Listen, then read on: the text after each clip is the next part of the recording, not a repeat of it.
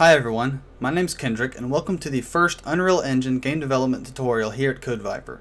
Today I'm going to be showing you how to create a basic main menu setup for your game, and I'll be covering the entire process from start to finish, so in case you're a beginner, you won't be left out because of assumed knowledge. Now, just really quick before we dive in, I want to show you the end result of what we're going to create. So if I click this play button up here, our menu will open up, and if I click the play button, you'll see that we're transported into our 3D world here. And I'm going to click escape, and if I click the play button again, it'll open up the main menu, and if I click the options button, we'll be transported into our options menu. X out, and if I click play again, and click the quit button, you'll see that it quits our game. Alright, this shouldn't take long, so let's dive in and create it.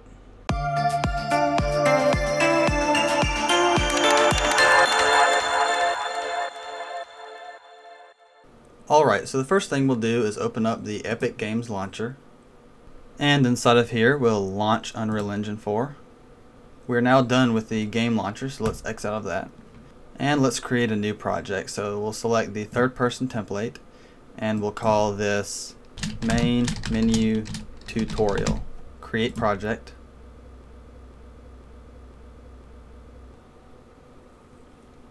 now inside of here we'll select the content folder and we're going to create two folders here. So select add new new folder and we'll call this levels.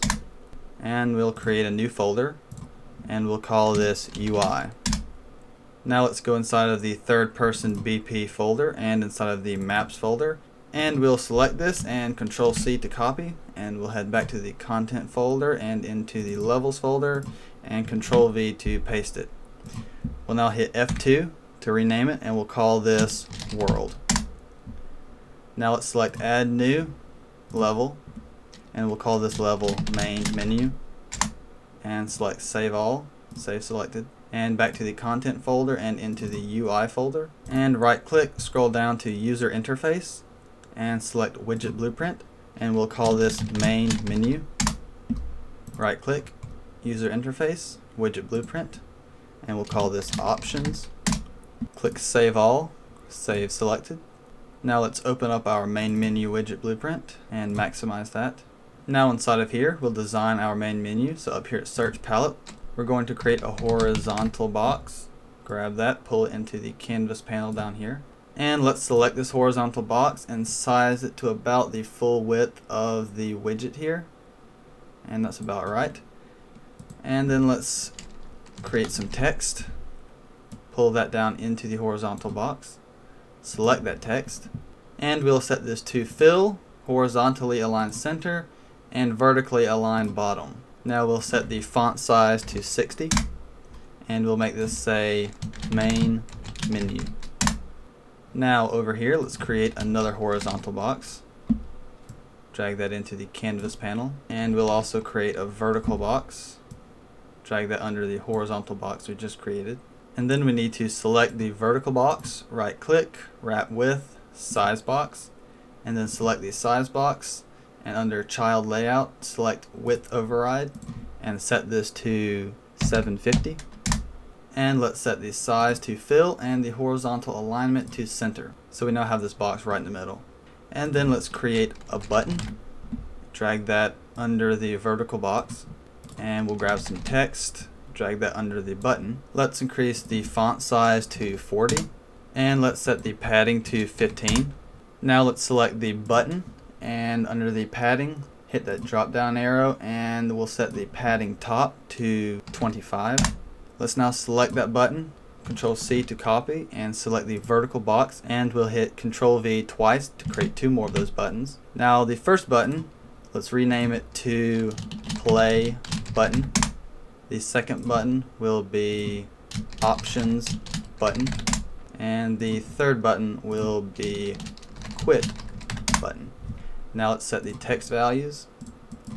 We'll have this say Play exclamation mark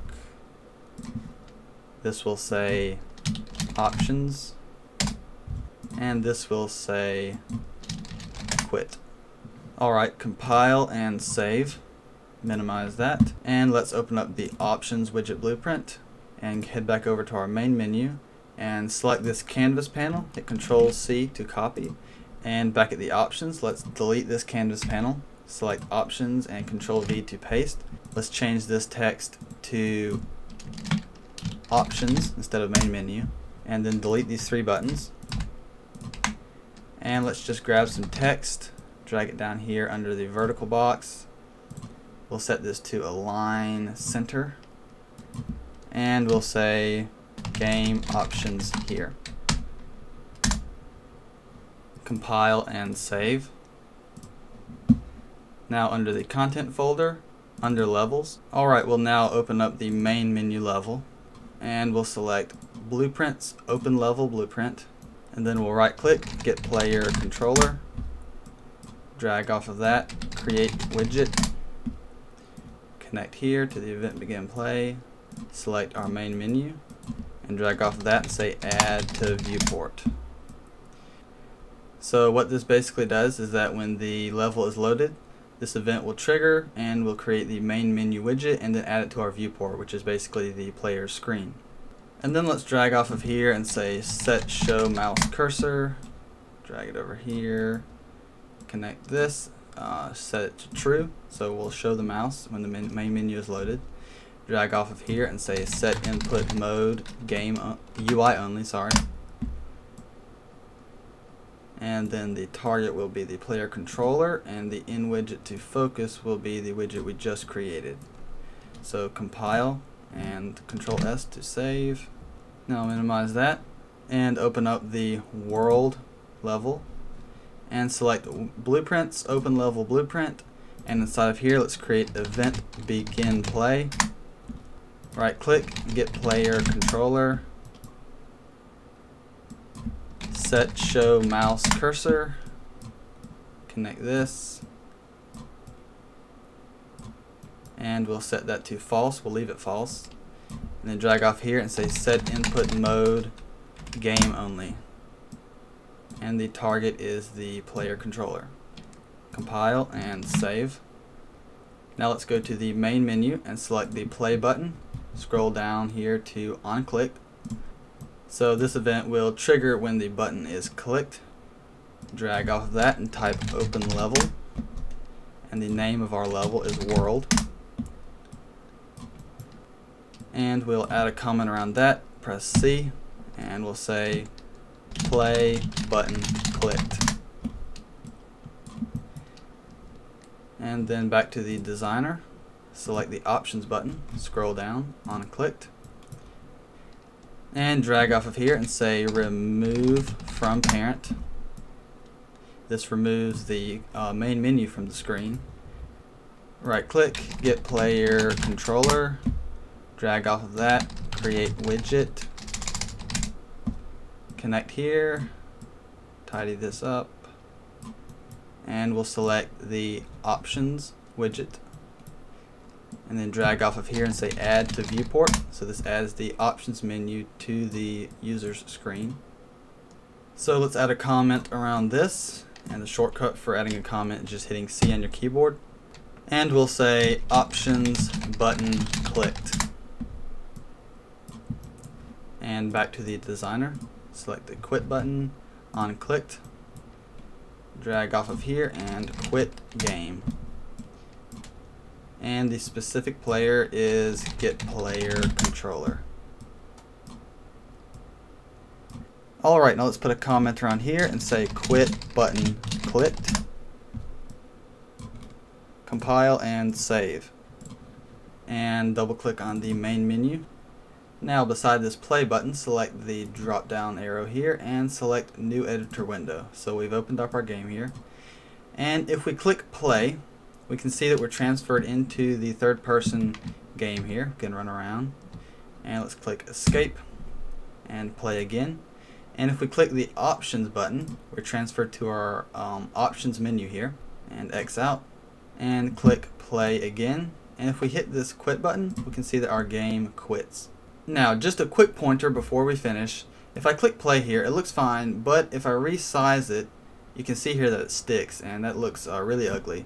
So let's X out and go under the UI folder and open up our main menu.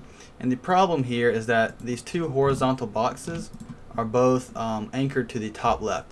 So let's fix that by selecting the horizontal box and under anchors, select center. And let's do that for the second one.